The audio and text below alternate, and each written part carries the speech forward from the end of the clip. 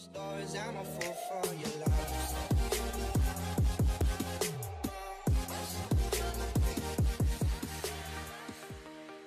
For this install, all engine covers can be left in place.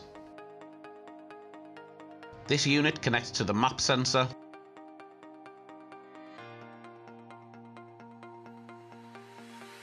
and the boost sensor. Remove the map sensor connector by pushing down on its locking tab, then pulling back the connector. Connect our map sensor harness plug to the map sensor. Connect the factory map connector to the corresponding plug on the supplied wiring loom.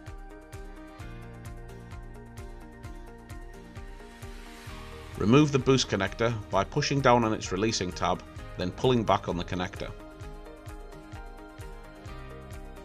Connect our boost harness plug to the boost sensor.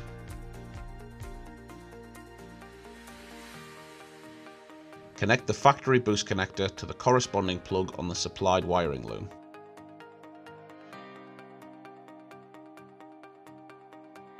Connect the unit to the wiring loom, then place it into the provided protective bag.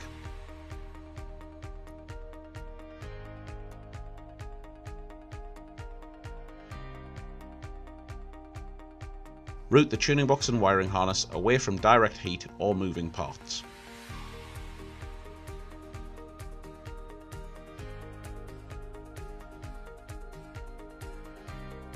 Secure the unit and tidy the wiring harness with the cable ties provided.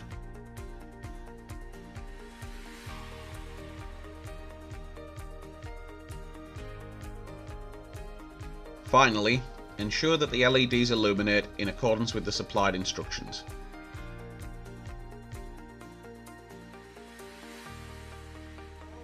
Cause I'm a fool for your love.